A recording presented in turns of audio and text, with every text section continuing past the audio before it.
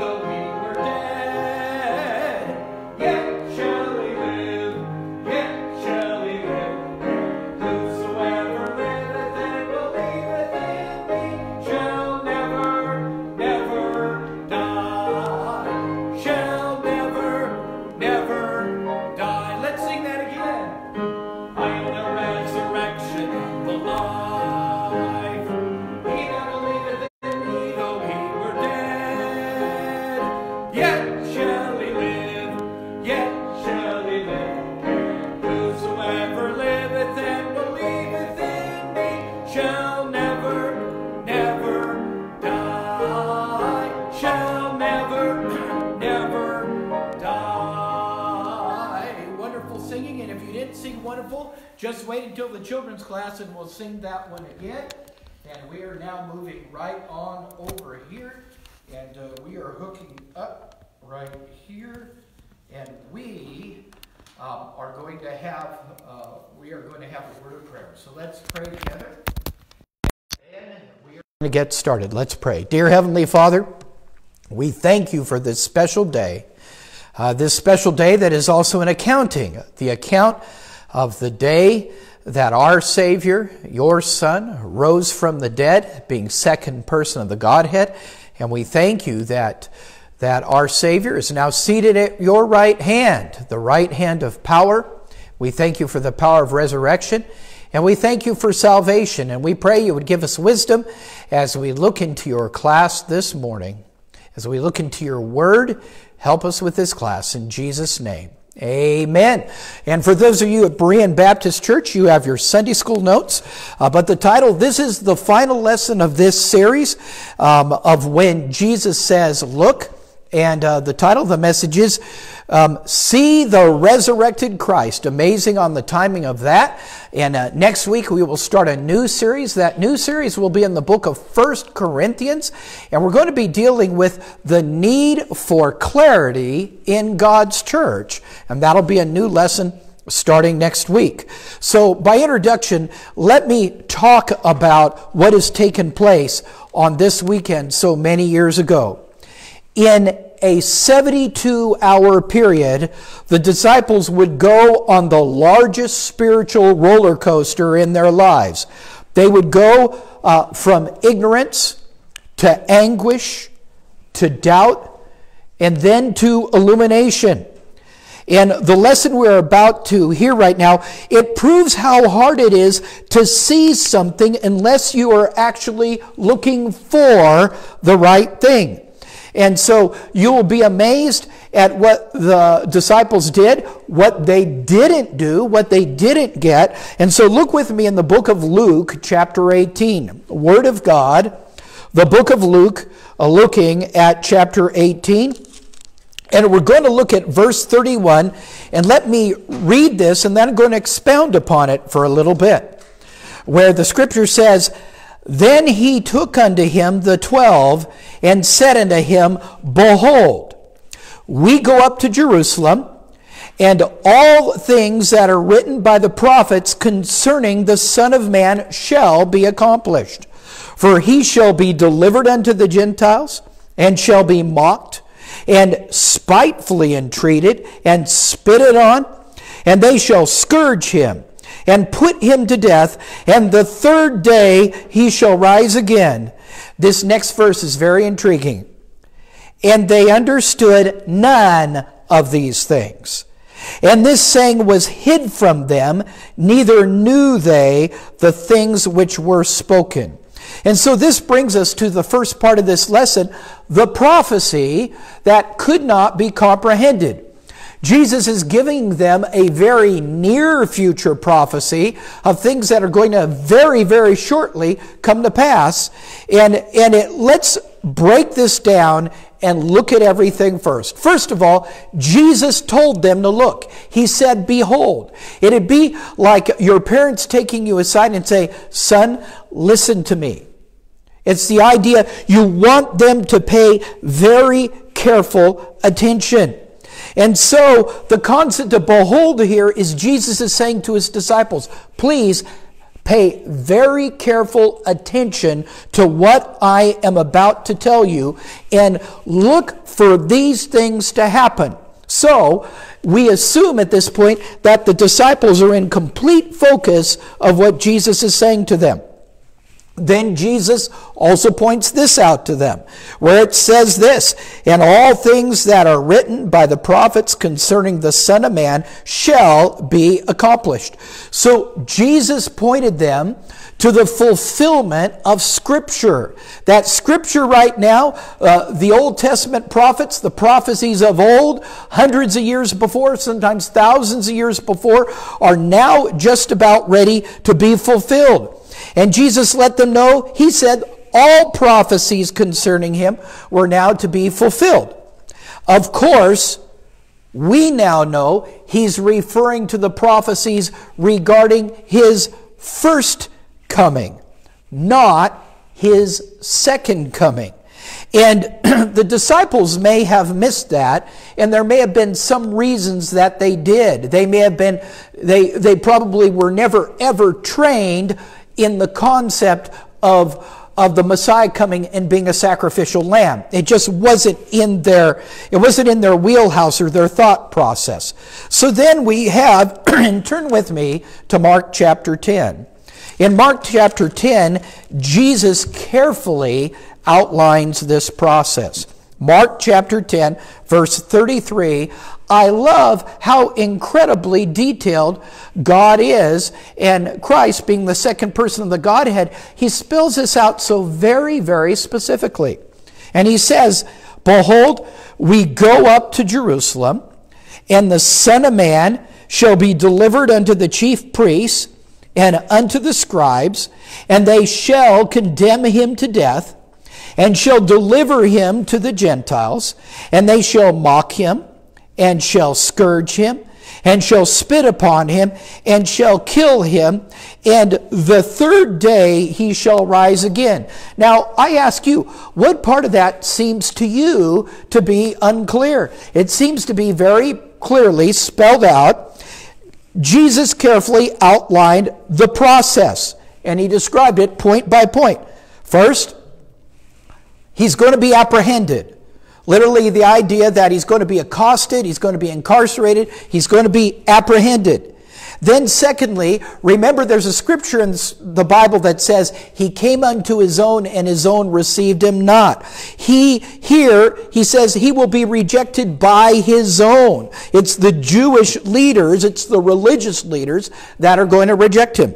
Then, thirdly, He will be delivered to the Gentiles. And the Gentiles, we understand that, that was the Roman government, the Roman Empire. He's being delivered to the Roman judicial system. And then here's what happens he will be mocked, he will be tortured, and he will be desecrated. The term desecrated gives when there's something precious and wonderful and pure and holy and is treated as an unholy thing. And when the soldiers spit upon Christ, they were literally desecrating the holy Son of God. And then it says, he will be killed. And we know that killing took place through the process of crucifixion.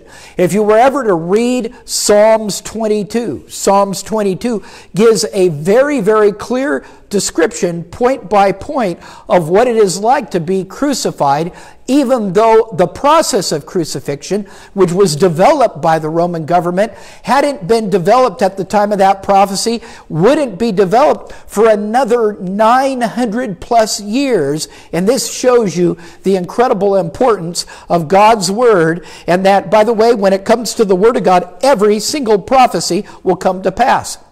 The only thing that has to happen is for a person to be considered a, a, false prophet is for one prophecy to be wrong. But none of the prophecies regarding the Son of God are going to be wrong. And then so he will be killed and then he will rise again the third day. Now, let's see again what the disciples' reaction was in Luke 18. And they understood none of those things. And this saying was hid from them, neither knew they the things that were spoken. Now, this might be a little bit perplexing. It's not perplexing that they didn't get part of it, it's perplexing that they didn't get any of it, none of it. Now, maybe that doctrine of the death, burial, and resurrection was so foreign to those who had been taught from their youth to look for a militant, conquering Messiah that would cast out the Romans. That was what they were taught in the synagogues. Uh, they were taught, we're going to get, the Messiah is going to come and overthrow this government and he will be in charge. Which, by the way, that will happen at the second coming of Jesus Christ. It was hard for them to picture that Christ was sacrificing to change the relationship between God and the entire world. And in the morning service, I will be talking a whole lot more about that. So the meeting was hidden from the disciples till later. So the first main point is it was the prophecy that could not be comprehended. But then, secondly, Jesus later, he states the scriptural fulfillment. He literally tells them in real time at that time that the scripture is being fulfilled even as he speaks. Mark chapter 14, looking at verse 41, and this is in the Garden of Gethsemane.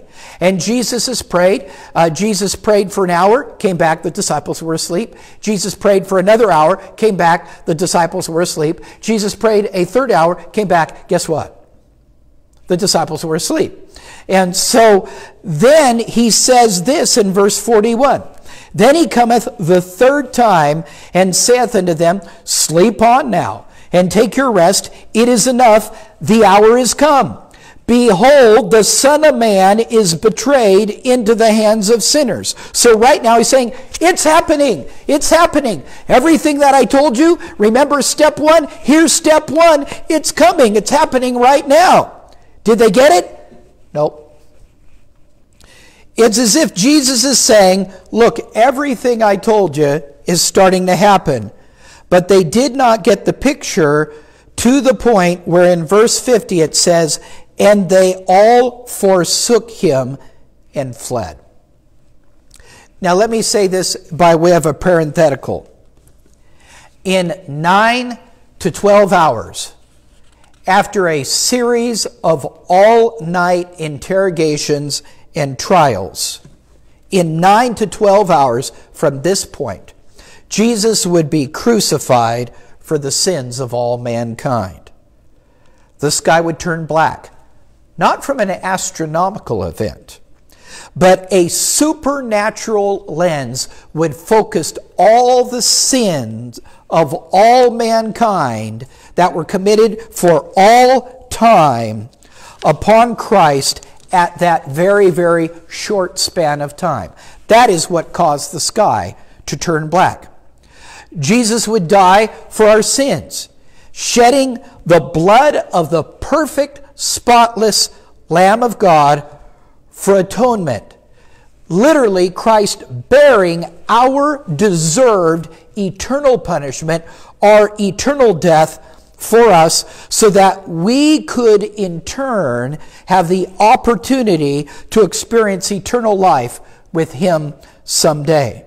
So now we're going to fast forward to the third day that Jesus spoke about. Turn with me to Luke chapter 24. So, looking in the book of Luke and looking at chapter 24, and let me read this passage, and I'm going to read it just uh, a little bit at a time. We're now dealing with the third point, the risen Christ. And there's two things that we need to look at regarding the risen Christ. First of all, we need to look to the message. We need to look to Christ's message, what he had said before. So, look how things happen here. Now, upon the first day of the week, by the way, the first day of the week is Sunday. Now you understand why we meet on Sunday. Understand this Saturday, the Sabbath, was created for the Jews. Sunday, the first day of the week, was created for the church. You do not find the Sabbath mentioned before the New Testament law, nor do you find a requirement for the Sabbath to be kept after Christ, the fulfillment of the Old Testament law. It's important to let the Bible say what it really says and not add things to it. So the first day of the week is when God's people, born again believers, every single Sunday is a memorial of Christ's resurrection of the dead. Now, upon the first day of the week, very early in the morning, they came unto the sepulchre, bringing the spices which they had prepared, and certain others with them. They brought spices. Here's what you, maybe you don't understand in the old days a body died and it was anointed with spices to preserve the body, to keep the body from smelling bad, and then it was rolled together in cloth, and then they would come back a day, they come back later and they would do it again. Well, they came back to do it again. And they found the stone rolled away from the sepulchre. And they entered in and could not find the body, and found not the body of the Lord Jesus. And it came to pass, look at the phrase, as they were much perplexed thereabout, behold, two men stood by them in shining garments. So, first of all, you have two aspects of the resurrection to consider here. And the first is going to be pointed out by two angels, the second is going to be pointed out by Christ himself. And so, they're perplexed by the circumstance. To be perplexed is they're confused. What is going on here? Why is there not a body here? Neither does the disciples nor the women who followed Jesus could bring into their minds what had taken place here. Even though previously, weeks before, the resurrection of Lazarus for a short time beforehand, it should have been an excellent object lesson of what the power of the resurrection is. Even though Jesus himself at that event even said these words, I am the resurrection and the life. No one seemed to get the picture of what was happening. So then here's what happens. Two men stood by them in shining garments, and as they were afraid and bowed down their faces to the earth, they said unto them, Why seek ye the living among the dead? He is not here, but is risen. Remember how he spake unto you when he was yet in Galilee. And so it's interesting. They simply, the angel simply said, uh, He told you this. Now, I don't know the character of angels, whether they have the capacity of being impatient. But in some ways, the angels are going, Well, duh, yeah, he's gone. He said he was going to be gone. And so he was saying, in effect, to the ladies, He already told you this. They did what he, he did what he said he would do. And, you know, they did what he said they would do. And then he did what he said he would do. You know, that, so you picture the angels going, uh, what's the problem here? And then they even say this. Then they said, remember how he spake unto you when he was yet in Galilee, saying, The Son of Man must be delivered into the hands of sinful men and be crucified, and the third day rise again. And so he went to prod the memory. You know what? And, and then look what happens here. Then it was, and they remembered his word. Now, I hope they rewind this videotape in heaven because I would love to see that aha moment spread across the face of the ladies as they realize, well, that means, and that means, and that means, you know, all of a sudden they realize it, and you can imagine the reaction and everything. And in their excitement, they ran and told the disciples, probably to, all talking to them at the same time. And guess what happened? They didn't believe them. It says, And their words seemed to them as idle tales, and they believed them not. It would take a literal show and tell for them to finally accept what the ladies already did the resurrection of Jesus Christ from the dead. So that brings us, okay, I said, look to the message. The angel said to the ladies, look to the message, look to the message, look to the message. But then Jesus says, well, if you don't get that, look at me. Look at verse 36 of Luke chapter 24 as we go through here. And, and I find this interesting as um, we go through Luke 24, looking at verse 36. And as they thus spake, Jesus himself stood in the midst of them and saith unto them, Peace be unto you. So you have the ladies who are perplexed by the circumstance. Um, they were pointed to Christ's words three days ago. They were prodded by the memory, and now you have the risen Christ and said, We're now looking to the Savior. We're now a few hours ahead, and so at this point, Jesus has already appeared to Peter, but he hasn't appeared to anyone else. We complain about doubting Thomas, but here's the reality. At this point, all the remaining disciples fill the bill of doubting Thomas right now, and then Jesus appears. So, first we have the unrealized miracle. Jesus appears and says, Peace be unto you. Okay, everything's going to be okay, right? Look at verse 37. But they were terrified and affrighted, supposing that they had seen a spirit. So the result, Jesus is back. Ah, look, everybody get away, everybody run. Wasn't really what we were expecting here, was it? Not exactly the desired result. They thought they were seeing an after death disembodied spirit. As there are some accounts of people actually seeing their loved ones after death, and they think this is happening. And instead of them being excited, they are terrified. So Jesus says this after this happens. He says, And he said unto them, Why are you troubled? And why do thoughts arise in your heart? Behold my hands and my feet, that it is my, I myself. Handle me and see, for a spirit hath not flesh and bones, as ye see me have. And so you have this reality here. Jesus saying, Hey, look at me. Look at me. I'm here. I'm him. He's literally saying, Look this time to himself. And he's saying, I don't look like a ghost. I look like a person. And then he says this, I love it. And when he had thus spoken, he showed him his hands and his feet because he can tell they're having a hard time framing this. He's going, Well, see, see, it's me. Look, look, look. I have hands, I have feet. I'm not a ghost. Though it'd be very interesting because when they looked at the hands, they'd see the scars. And when they look at the feet, they'd see the scars.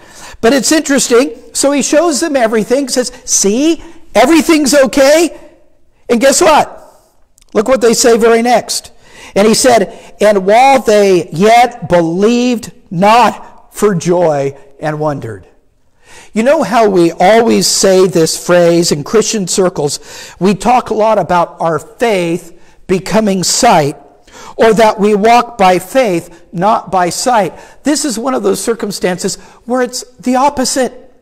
They're looking with their own eyes and they still do not have the faith. Talk about a hard crowd to convince.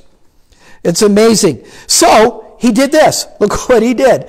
He said, And while they yet believed not for joy and wonder, he said unto them, Have ye here any meat? Means, do you have any food? And they gave him a piece of broiled fish and of a honeycomb, and he took it and did eat before them. And it's kind of like he said, okay, he resorted to the food test.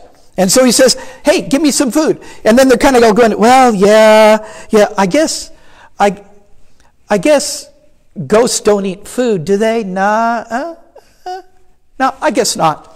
And so it's amazing what it took for them to realize that their sight had to become faith. And then finally, their understanding had to become open. And so what we look here is it says this in verse 44 And he said unto them, These are the words which I spoke unto you while I was yet with you, that all things must be fulfilled which were spoken in the law of Moses and in the prophets and in the Psalms concerning me.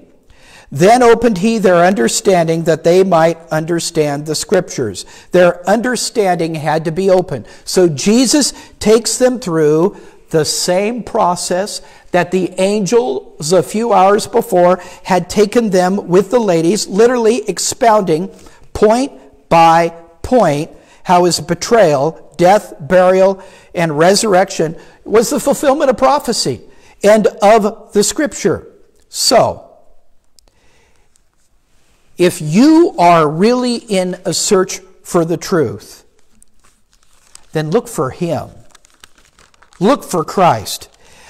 Here's an illustration Luke 19, verses 3 and 4, and we're talking about Zacchaeus. And it says, And he sought to see Jesus who he was, and could not for the press, because he was little of stature. He ran therefore and climbed up a sycamore tree to see him, for he was to pass that way. The most important thing to Zacchaeus is that he wanted to see Jesus. In this series, Jesus has told us to look. The most important thing for you to look for in your life is Him. That is the Savior, Jesus Christ. Look for Him for relationship and look for Him for life. As the scripture says in Jeremiah 29 13, and ye shall seek me and find me when ye shall search for me with all your heart. Remember this and seek for the Savior with all of your heart. God bless you. We're taking a short break, and the children's lesson will start in just a few minutes.